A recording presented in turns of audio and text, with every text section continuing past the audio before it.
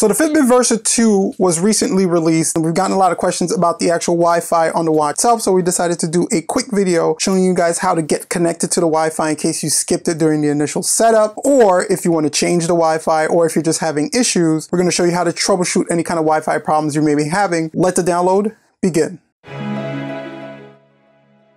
So if you want to learn how to use and troubleshoot your devices, plus some other cool tech stuff, we can help. All you got to do is hit that subscribe button and that bell for notifications so you don't miss when we release some cool helpful content. So the Fitbit Versa 2 was recently released. We actually did a cool review on that particular smartwatch. You can check it out. I'm going to have a link in the description of this video and also put it in a card up above. After you finish watching this video, of course, go ahead and check that out if you're considering purchasing the Versa 2. But in this video, I'm going to show you how to set up the Wi-Fi on that watch in case you skipped it initially. And I'm also going to show you how to troubleshoot any issues you may be having if you already have the Wi-Fi set up or if you want to change the Wi-Fi that it's connecting to on the Versa. So now just some quick information information on what the capabilities of the Wi-Fi for the Versa is, it can actually connect to just about almost any kind of Wi-Fi signal or connection you have available. It can't connect to a 5 gigahertz Wi-Fi signal connection, and it doesn't connect to public Wi-Fi connections as well. But it will connect to a portable hotspot if you create a portable hotspot with your phone or tablet or any kind of LTE device. It will have the ability to connect to that. So now, like I said, you're usually prompted to do a connection to the Wi-Fi when you do the initial setup, but if you skip that particular step, you can actually just go into the Fitbit app itself, Make sure you're on the Today User tab. You're gonna go ahead and hit the image in your profile. You're gonna go ahead and select your watch and then you have a Wi-Fi setting option there. So if you tap that Wi-Fi setting, you're gonna then have the ability to add a network that appears on screen. So if you don't have any networks already added, you can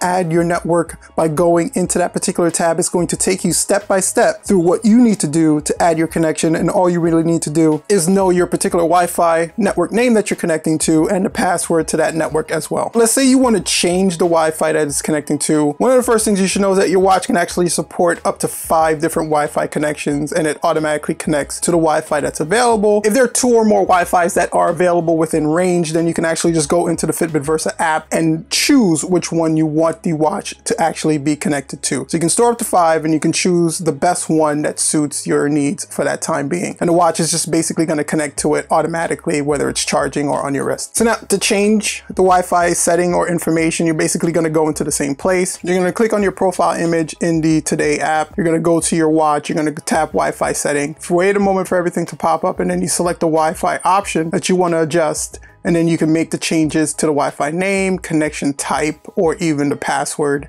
in that particular setting. So again, that's if you want to change any kind of Wi-Fi information. Let's say you updated your password or changed your Wi-Fi name. You want to make sure your watch is still connecting automatically the way it's supposed to. You can go into those settings and make that adjustment there. Now, if you set everything up properly and your watch just isn't connected to the Wi-Fi that the way it's supposed to, a couple of troubleshooting steps you can actually take is just connecting your watch to the charger. So if your watch is not connected to Wi-Fi, connect it to the charger. Make sure all your Wi-Fi settings first is set up correctly inside the app itself. If those are good, connect your watch to the charger, move it a little bit closer to your modem or router, and see if the watch connects through there. That can help the watch get connected to your Wi-Fi signal. Once it's connected to the signal itself, then you can move the watch to any location in your home and you should be fine. So that's all well and good, but what if you go into your app itself and you're trying to add your Wi-Fi connection, but you're just not seeing it there or you're unable to add the Wi-Fi in that particular option in the Fitbit Versa app? Some of the things you can actually do to fix that is you want to try resetting your watch. So just doing a full reboot of the watch itself can help with that issue. And all you really need to do is hard press the button that's on the Fitbit watch. You're gonna wait until it completely powers down.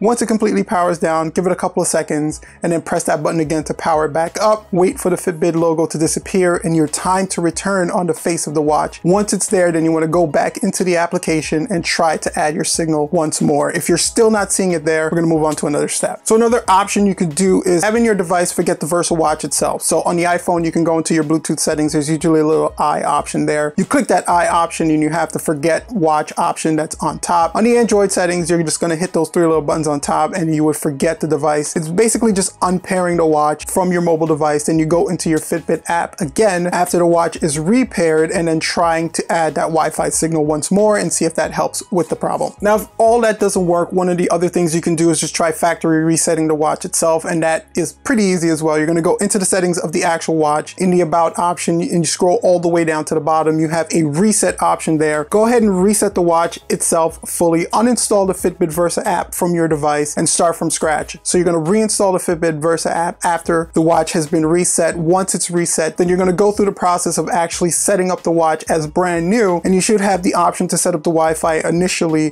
when the watch is being set up from scratch and then you should be able to see your Wi-Fi signal there. Make sure you're close enough to your router again so the signal is strong enough for the watch to detect, but that should resolve your issue. If you're still having issues connecting to your Wi-Fi, make sure you check that other devices in your home can connect to the Wi-Fi with no issues. If it's connecting fine and you're still having a problem with the Versa, make sure you reach out to Fitbit. They have a support form on their website and they also have tech support that you can reach out to. It may just be an issue with the antenna in the watch itself, just not detecting your Wi-Fi signal. So guys, if you have a step that I didn't mention in this video that you used to resolve the problem, go ahead and share that in the comment section below. And until then, if you want to check out our review on the Fitbit Versa 2, like I said, go ahead and click on this video here. This is something that YouTube believes you'd enjoy watching, guys. Thank you so much for checking out the video. Don't forget to like, share, and subscribe if you enjoyed it. With that bell for notifications so you don't miss when we release some cool, helpful content like this one. Until next time, peace.